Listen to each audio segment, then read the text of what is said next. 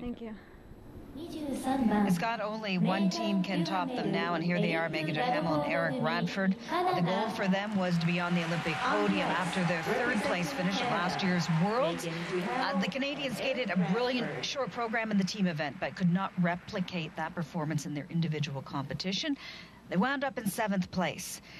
And this short program, Curtin Carroll, that we're about to see has the potential, if skated perfectly, to land the Canadians on top of the standings after the short. It's a wonderful program, and they had that moment at Olympics, that skate of the life moment. They're so comfortable with this program. It's got the potential to do for them exactly what they want.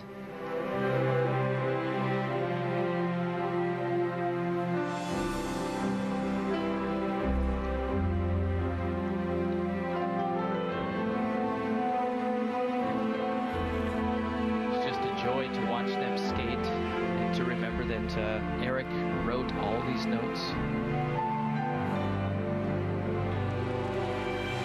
Now they string together the beautiful moves and the emotion between them that tie the whole story together.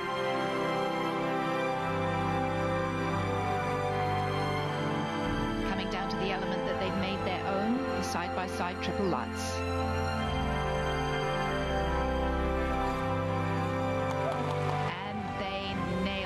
Once again.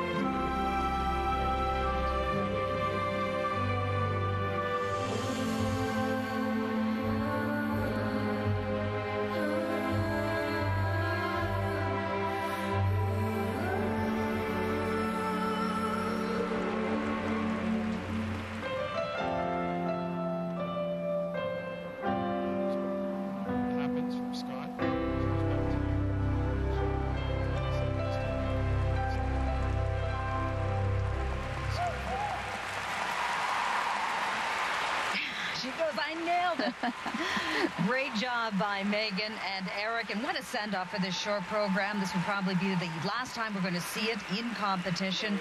Beautifully executed by the Canadians.